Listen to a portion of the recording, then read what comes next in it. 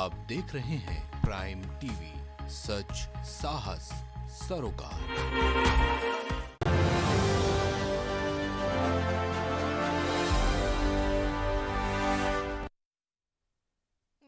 मैं हूँ त्रिशला यादव। स्वागत है आपका प्राइम टीवी में। राजधानी लखनऊ की विधानसभा मध्य के 2022 के विधानसभा चुनाव में दावेदारी कर रहे बसपा प्रत्याशी आशीष चंद्र श्रीवास्तव पूरे जोश के साथ उतर चुके हैं। अपने क्षेत्र का विकास करना, सड़क नाली सीवर की समस्याओं का निराकरण करने जैसे मुद्दों को लेकर जनता के बीच अपनी पैठ बना रहे इसी पर हमारी प्राइम टीवी की टीम ने आशीष चंद्र श्रीवास्तव से खास बातचीत की है। 2022 का विधानसभा चुनाव सर पर आ चुका है, जिसके चलते सभी दावेदारों ने अपनी कमर कस ली है। इस वक्त हमारे साथ मध्य विधानसभा के बीएसपी के उम्मीदवार आशीष चंद्र श्रीवास्तव हमारे साथ में मौजूद है। वो किन मुद्दों को लेकर क्या यहाँ पे जनता के बीच में उतरे हैं, सीधे ही उनसे बात करेंगे।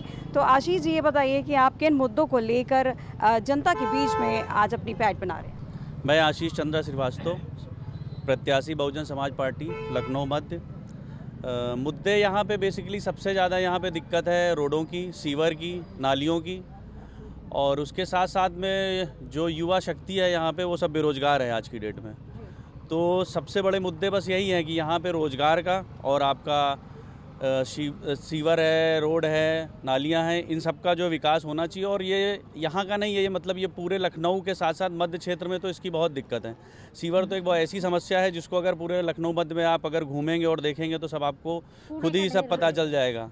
हर जगह ये हम लोग यहाँ पे खड़े हैं रविदास नगर बालू अड्डे पे। तो यहाँ पे भी जो है आप देख लीजिए सब ढलान पे सब यहाँ पे सब पानी और की नालियाँ सब ऊपर से बह रही हैं उफान की तरह। तो सीवर की समस्याओं का हल नहीं हो रहा है सरकारें आ रही हैं मंत्री भी सब यहीं के हैं। पाँच साल भाजपा रही उससे पाँच साल पहले जो है जो मान खड़े हुए हैं सपा से माननीय रविदास मल्होत्रा जी वो भी मंत्री थे पाँच साल तो इन लोगों ने यहाँ किसी ने कोई काम नहीं किया। सिर्फ़ वादे किए हैं जनता को और जनता को लुभावने वादे देके सिर्फ़ झूठ बोला गया यहाँ पे। काम कहीं दिखाई नहीं पड़ेगा आपको ये आप खुद आप लोग सर्वे कर रहे होंगे इस चीज़ का कि जो है ये सब सिर्फ़ कहने को है और कहीं पे कुछ नहीं हो रहा है। पर मौजूदा सरकार तो ये बोलती है कि जो अन्य पार्टियाँ हैं वो सिर्फ़ जुमलेबाजी कर रही है। उन्होंने ऐसा कोई काम नहीं किया और बीएसपी की सरकार की बात जब वो करती हैं तो वो बोलते हैं कि उन्होंने सिर्फ़ अपनी जेबें भरने का काम किया। जेबें किसने भरी किसने नहीं भरी ये तो जब सरकार है अभी और जब 10 तारीख को रिज़ल्ट आएगा उसके बाद देखा जाएगा कि किसकी जेबें भरी और किसकी खाली हैं। 2007 से 12 में जो विकास माननी माननीय बहन जी ने हमारे यहाँ लखनऊ को जो लखनऊ बना दिया वो आज तक जो है माननीय हमारे राजनाथ सिंह जी आज जो है आपके रक्षा मंत्री हैं, उससे पहले जो है गृह मंत्री थे तो लखनऊ में कौन सा विकास राजनाथ सिंह ने किया और माननीय अटल बिहारी वाजपेयी जी जो हमारे यहाँ के प्रधानमंत्री थे, उन्होंने लखनऊ के साथ क्या किया और कौन सा जो विकास किया, ये बिना- बताए हमको। ये लखनऊ की जो आज खूबसूरती और जो लखनऊ में से बताते हैं कि पार्क बन गया, ये बन गया तो पार्क वगैरह जो बन गया इसका जो पैसा आता है वो किसको मिलता है, सरकार को ही मिल रहा है, किसी और को नहीं मिल रहा है। कोई बहन जी की जेब में नहीं चला जा रहा है कुछ। तो ये तो जो प्रदेश की जनता को उन्होंने और सरकार को ही दिया है ना सरकार का रेवेन्यू जनरेट हो रहा है। और सिर्फ़ वादे करने से और झूठ बोलने से कुछ नहीं होता है। फ्री में अनाज बांट देने से बताया जाता है तो अनाज बांट दे रहे हैं और क्या कर रहे हैं बताइए आप? किसको रोज़गार दिया है? हमारी सरकार में बहन जी ने फोर्थ क्लास एम्प्लॉय जो होता है एक लाख से ऊपर रोज़गार उसको यहाँ पे दिया हुआ है पूरा। किसने दिया? किस सरकार ने दिया है? बताएँ हमको।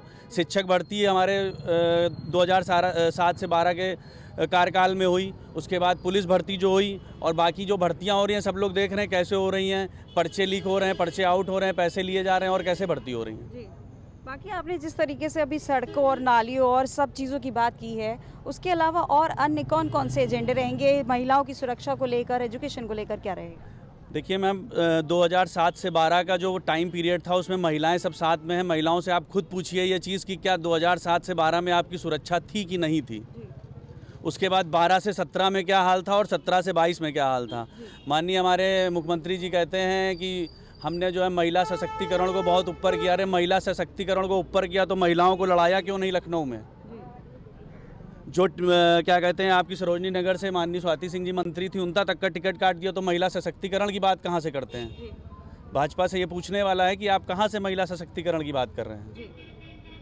शुक्रिया। आखिर मैं चाहूँगी कि प्राइम टीवी के माध्यम से आप एक क्या मैसेज देना चाहेंगे? मैसेज यही देना चाहेंगे कि जनता जैसे साथ दे रही वैसे साथ देते रहे और माननीय बहन जी को पांचवी बार मुख्यमंत्री बनाने का काम करें।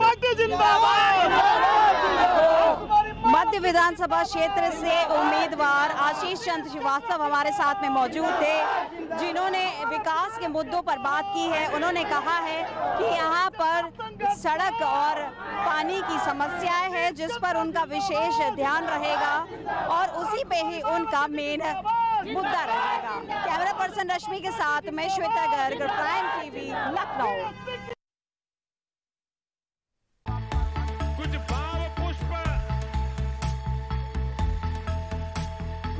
आप देख रहे हैं प्राइम टीवी सच, साहस, सरोकार।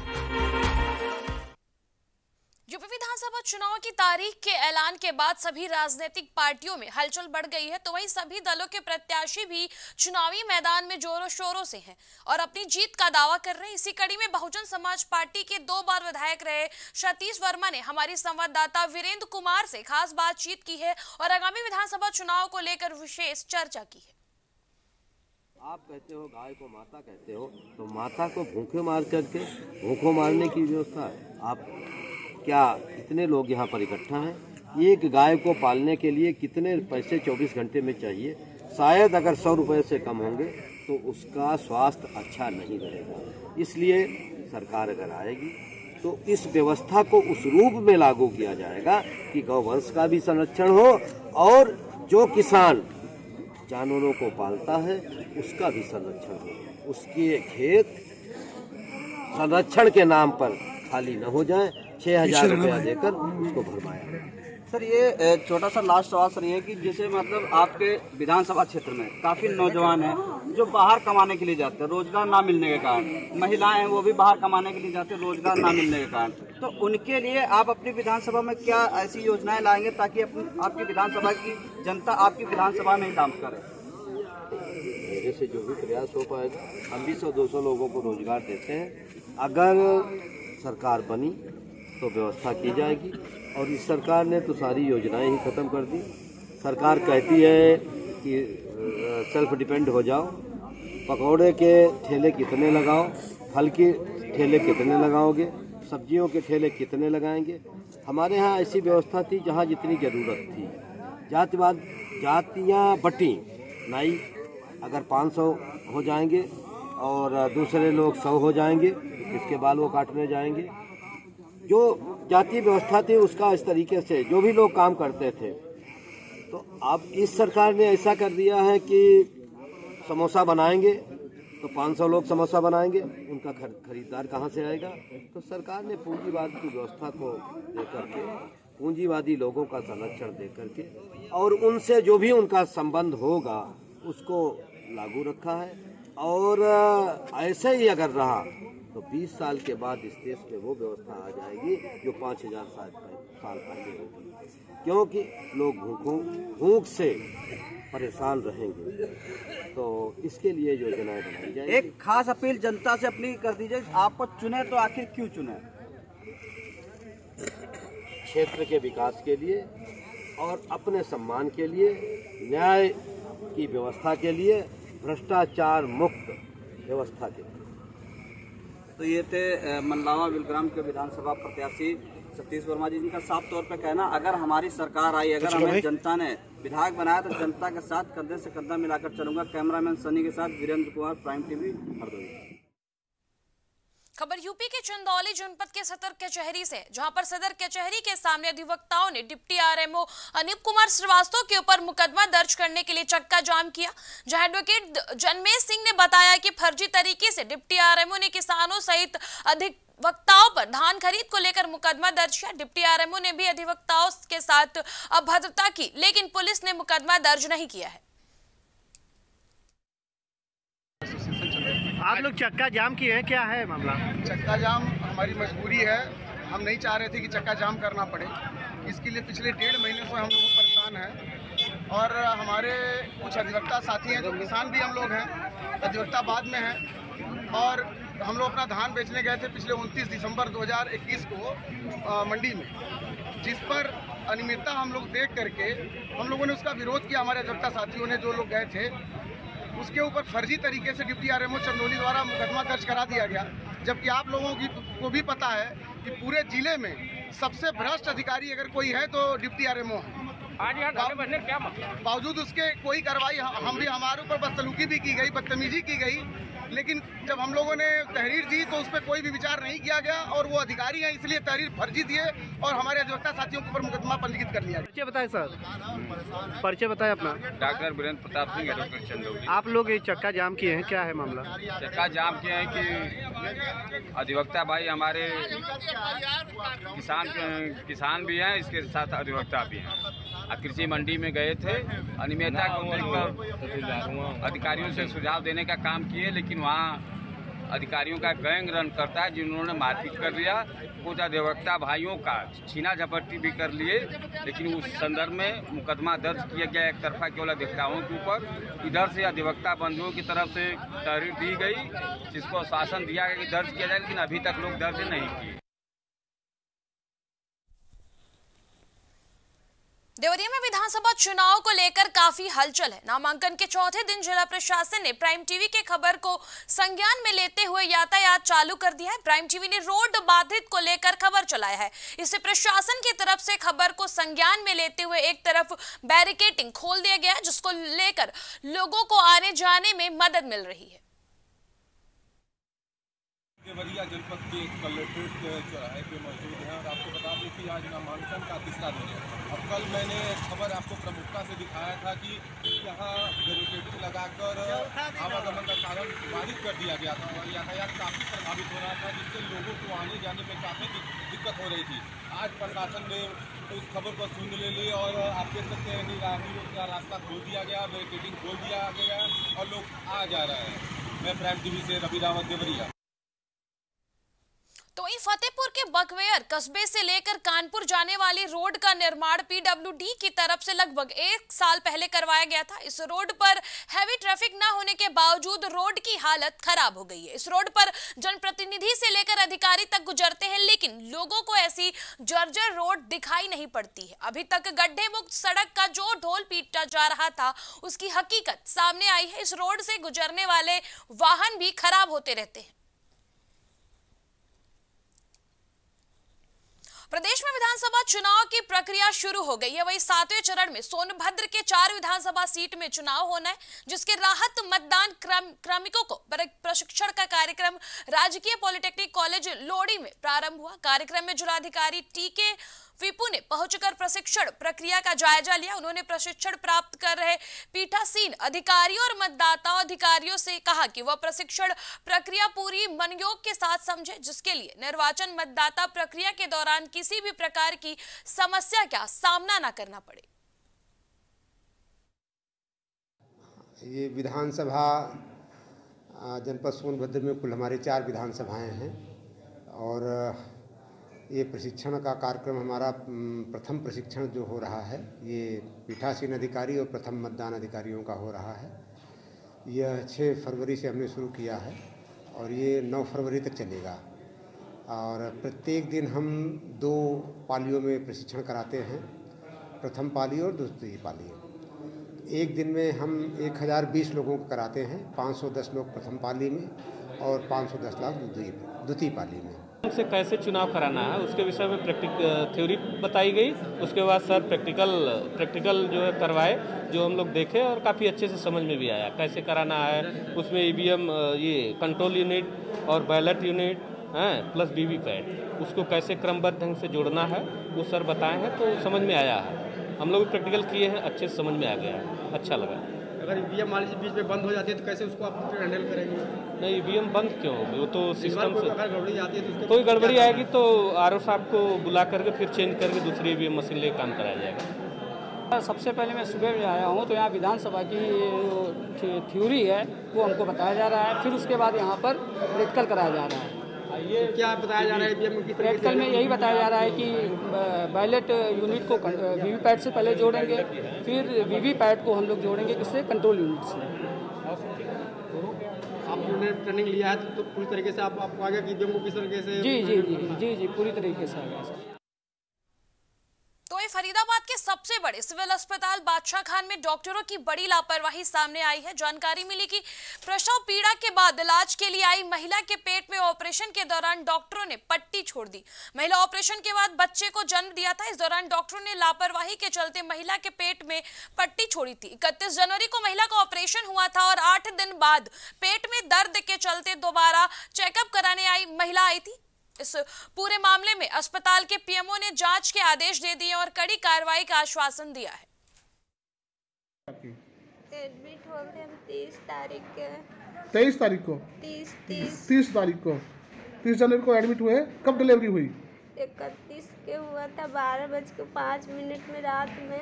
अच्छा। छोटा ऑपरेशन से हुआ है। उसमें ना रुआ कोच के उनको भूल से रह गया। पेट के अंदर छोड़ दिया था भूल के? हाँ भूल से रह गया। पता लगा कि पेट में कॉटन का कपड़ा छूट गया कैसे पता लगा? हम लैट्रिन गए ना तब हम देखे कपड़ा थोड़ा सा बाहर इतना था। टाँके से बाहर आ रहा था? हाँ। तो फिर अब क्या यहाँ पर अल्ट्रासाउंड कराया है अब निकाल दिया कपड़ा? हाँ। दोबारा ऑपरेशन किया है? नहीं।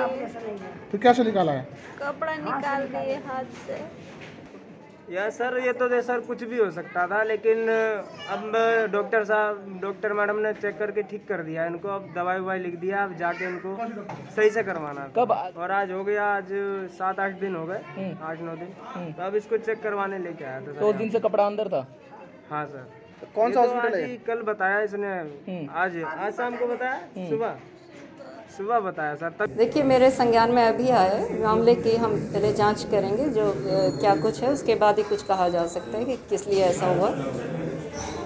मैं पता लगा लेती हूँ कि किसने दवाई लिखी है और इस जाँच कराते हैं और डॉक्टर द्वारा ही दवाई लिखवाएँगे। जो अप्रोप्रिएट दवाई है वही लिखवा कर दिलवाएँगे कार्रवाई बनती है तो क्या कुछ एक्शन भी हो सकता है ऐसे? क्योंकि इस तरह की लापरवाही और बहुत दिनों तक हाँ ऐसे गॉस पीस नहीं छोड़ा जाना चाहिए। बिल्कुल गलत है। यदि जो भी हुआ है बलिया में बोरिया विधानसभा से भाजपा विधायक सुरेंद्र सिंह के टिकट कटने के बाद बगावती तेवर दिखाई, दिखते हुए निर्दलीय चुनाव लड़ने का ऐलान किया नाराज़ सुरेंद्र सिंह ने कहा है कि टिकट कटने के बाद सपा के लोगों ने कहा कि अखिलेश यादव के पास चलकर टिकट मांगना पड़ेगा। भाजपा विधायक ने कहा कि मैं उस धरती का रहने वाला हूँ जहाँ याचना नहीं करते। वही भाजपा शीर्ष को चुनौती देते हुए कहा कि ये धरती सुरेंद्र की रोटी और धोती को पसंद करती है। पूज्य लोगों आज आप सबने संदेश दे दिया दिल्ली वालों को। यह दिल्ली वालों ध्यान से देख लो चश्मा अपना उतार के देखो लगा के देख लो। जो इच्छा हो जैसे हो देख लो। द्वाबा की धरती द्वाबा की धरती सुरेंद्र सिंह के रोटी और धोती को पसंद करती है। राजनीति के बेस्याओं को पसंद नहीं करती है। सुरेंद्र सिंह के धोती और लंगोटी को पसंद करती है। फरीदाबाद में लगातार अवैध बसों का बोलबाला हो रहा है। विभाग की ओर से लगातार कार्रवाई किए जाने के बावजूद भी धड़ल्ले से अवैध बसों चल रही है। वहीं कई बार विभाग की ओर से अवैध बसों को मोटे मोटे चलान काटे गए। इसके बावजूद अवैध बस चालक अपनी मनमानी से बाज नहीं आ रहे। इसी कड़ी में आज आरटीओ विभाग ने वल्लभगढ़ बस स्टैंड के पास अवैध बसों पर कार्रवाई करते हुए उनके चालान काटे। आरटीओ विभाग के इंस्पेक्टर ने बताया कि समय समय पर हम पूरे फरीदाबाद में अवैध बसों और ओवरलोडेड वाहनों पर कार्रवाई करते रहते हैं। गाड़ियाँ यहाँ से या फरीदाबाद मेरी जुडिक्शन के अंदर से बगैर परमिशन के बगैर किसी अथॉरिटी के अगर सवारियों को लेकर जा रहे हैं तो वो इलीगल काम कर रहे हैं। और ऐसी गाड़ियों के खिलाफ सख्त कार्रवाई की जा रही है और उनको जो भी गाड़ी सामने वहीं अमेठी एक विधानसभा जगदीशपुर सपा प्रत्याशी विमलेश सरोज के निर्वाचन अधिकारी के सामने अपना नामांकन दाखिल किया। गौरीगंज कलेक्ट्रेट पहुंचकर निर्वाचन अधिकारी के सामने अपना नामांकन दाखिल किया। सपा प्रत्याशी विमलेश सरोज के आगामी चुनाव में जीत का दावा भी किया है। विधानसभा जगदीशपुर की जनता मेरा एक परिवार है और मैं जगदीशपुर विधानसभा में मैं चुनाव नहीं लड़ रही हूँ। मेरा चुनाव जगदीशपुर विधानसभा की जनता चुनाव लड़ रही है। जो स्नेह वो प्रेम जगदीशपुर विधानसभा की जनता ने मुझे दिया है वो प्रेम हमेशा हमारे आजीवन बरकरार रहेगा। जनता जनता के बीच में हम पूरा पार्ट बना चुके हैं और हम एक लोकप्रिय नेत्री हूँ जगदीशपुर विधानसभा की और जो जगदीशपुर विधानसभा का प्यार और आशीर्वाद मुझे मिल रहा है, वो हमेशा मिलता रहेगा। गोरखपुर ग्रामीण विधानसभा क्षेत्र के प्रत्याशी विजय बहादुर यादव ने नामांकन किया। नामांकन केंद्र से निकलते हुए विजय बहादुर यादव ने मीडिया कर्मियों से बात करते हुए बातें की। उन्होंने कहा कि बीजेपी सरकार ने जाम और जलमाव में निजात पाने के लिए कुछ नहीं किया और अब थाने और चौकियों की बदतर स्थिति को ठीक कर लिया जाएगा। आप भी सुनिए विजय बहादुर यादव ने क्या कुछ बयान दिया है। देखिए, जो लोग अपने आप को समाज के प्रति समर्पित करके काम करते हैं वो कोई चुनौती नहीं मानते। हम तो अपनी बची हुई ज़िंदगी समाज के लिए समर्पित कर दी हैं तो विजय बहादुर की चुनौती क्या है? विजय बहादुर के सामने आम जनता के, की समस्याओं की चुनौती है, कि हम लोग सरकार बनाने जा रहे हैं और जो पाँच साल में जिस प्रकार से भारतीय जनता पार्टी ने पूरे गोरखपुर में जल जमाव की समस्या से निजात के लिए कोई काम नहीं किया, जाम की समस्या से निजात के लिए कोई काम नहीं किया और थाने और चौकियों की जो बदतर स्थिति, उस पर जनता ठगा हुआ महसूस की है। उन सारे स्थितियों को ठीक करके हम लोग गोरखपुर को बेहतर बनाएँगे और यहाँ के नागरिकों का भरोसा पुनः जनप्रतिनिधियों पर कायम हो सके, इसलिए बढ़िया से बढ़िया काम करने का प्रयास देवरिया में नामांकन के तीसरे दिन जनपद में विभिन्न सीटों से प्रत्याशियों ने अपना नामांकन किया। पत्थरदेवा विधानसभा से निर्दल प्रत्याशी विवेकानंद सिंह, देवरिया से मीना देवी, सलेमपुर से भारत कम्युनिस्ट मार्क्स पार्टी के सतीश कुमार ने नामांकन दाखिल किया। रामपुर विधानसभा से कांग्रेस प्रत्याशी अंबर जहाँ ने बताया कि पार्टी ने मुझ पर भरोसा किया, मजबूती के साथ काम कर रही है। मुझे जनता का प्यार मिल रहा है और इस बार कांग्रेस की सरकार बनने जा रही है। क्या मुद्दे रहेंगे चुनाव को लेकर? मुद्दे को लेकर चुनाव को अच्छे हैं और हम लोग आए हैं नामांकन के लिए। विकास का मुद्दा और विकास का मुद्दा होगा महिलाओं के लिए हम लोग का मुद्दा होगा। आप एक महिला महिलाओं के लिए क्या करेंगे? महिलाओं के लिए अगर हम महिलाओं के लिए बेरोजगार जो हैं उनके लिए हम रोजगारी देंगे। महिलाओं के साथ हमको कदम से कदम मिलाकर चलना है। उनको समस्याओं को हल करना है। उत्तर प्रदेश में विधानसभा चुनाव को लेकर अलीगढ़ में पहले चरण में मतदान है, जिसको लेकर पुलिस और प्रशासन की टीम ने संयुक्त रूप से कड़े सुरक्षा प्रबंध किए। 10 फरवरी को अलीगढ़ ज़िले का सात विधानसभा सीटों के लिए वोटिंग की जाएगी और इसी वजह से आज शाम को चुनावी प्रचार थम चुका है। कलेक्ट्रेट सभागार में डीएम और एसएसपी ने संयुक्त रूप से प्रेस वार्ता करते हुए बताया कि भयमुक्त मतदान कराना पुलिस प्रशासन की प्राथमिकता है। हमने सुनिश्चित किया है कि ज़्यादा से ज़्यादा लोग अपने प्रतिनिधि का चुनाव अधिक से अधिक मतदान कर सके। जनपद अलीगढ़ में चुनाव होने वाला है। इसको लेकर के आज प्रेस ब्रीफिंग किया गया है। कानून व्यवस्था को लेकर के, बाकी लॉजिस्टिक्स को लेकर के हम लोगों का और मतदान कर्मियों को लेकर के हम लोगों को जो जो व्यवस्था किए हैं उसके संबंध में ब्रीफिंग किया गया है। और मीडिया को कैंडिडेट पॉलिटिकल पार्टी के साथ भी मीटिंग किए हैं। जो जो आचरण उनको रखना है उसके संबंध में भी ब्रीफिंग किया गया है। हम लोग ये कोशिश पूरा हमारा रहेगा हंड्रेड परसेंट हम लोग इंश्योर भी करेंगे कि इंसिडेंट फ्री इलेक्शन हो और दूसरा ट्रांसपेरेंट माध्यम क्लियर रहेगा। वोटर को किसी तरीके का कोई भी दिक्कत नहीं होगा। कोई भी जो वोटर है उस कॉन्स्टिट्यूंसी में, वो आ करके अपना वोट पोलिंग बूथ में आके बिना कोई डर या कोई भी मोटिवेशन से आकर के वो अपना वोट डाल सकता है। पुलिस फोर्स हो, चाहे अन्य जनपद यूनिट से सिविल पुलिस का फोर्स हो, या होमगार्ड हो, या पीआरडी हो, सबका व्यवस्थापन किया गया है। डिप्लॉयमेंट प्लान पूरा है, चाहे बूथ ड्यूटी हो या कानून व्यवस्था की ड्यूटी हो। इधर अभी सूचना इकाई जो हमारी है, अग्निशमन है, जितने भी पुलिस के विंग्स होते हैं वायरलेस होता है इन सबका भी विस्तृत ड्यूटी चार्ट है और आज अपराह में इन सबकी ब्रीफिंग है। इसके अलावा जो कानून व्यवस्था के दृष्टिगत आपने विशेष रूप से पूछा है तो हमारी यूपी वन वन टू की गाड़ियाँ, इसके अलावा हमारे सौ से ज़्यादा क्लस्टर मोबाइल्स भी बनी हैं। हर थाने पर दो दो क्यू हम लोगों की रहेंगी और अतिरिक्त थाना मोबाइल्स भी हम लोगों ने दी हैं, जो कि अपना कार्य करेंगी। दो दिन से आप देख रहे होंगे, बड़ा ही ब्रिस्क एरिया डोमिनेशन जो है, चौकी चौकी चौकीवार चल रहा है। अमेठी विधानसभा से भाजपा प्रत्याशी संजय सिंह ने अपने प्रस्तावक जिला पंचायत अध्यक्ष राजेश अग्रहरी के साथ गौरीगंज कलेक्ट्रेट पहुँचे, कलेक्ट्रेट पहुंचकर निर्वाचन अधिकारी के सामने नामांकन दाखिल किया। बता दें कि अमेठी विधानसभा से संजय सिंह का टिकट मिलने से सियासी पारा गर्म हुआ है। अमेठी विधानसभा सीट से भाजपा प्रत्याशी डॉक्टर संजय सिंह ने नामांकन किया। संजय सिंह ने चार सीटों पर अपना नामांकन किया। आज के लिए उत्तर प्रदेश की खबर में इतना ही। देखते रहिए प्राइम टीवी।